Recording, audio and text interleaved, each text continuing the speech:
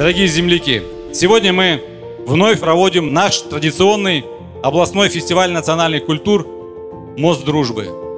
Фестиваль, который символизирует единство и гармонию народов, проживающих на территории Тюменской области.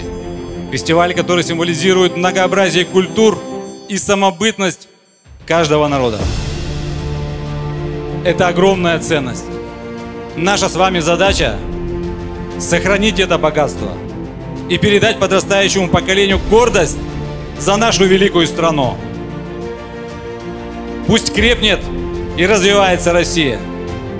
Пусть мир и благополучие всегда царит в нашей большой многонациональной семье. С праздником! Да здравствует Россия!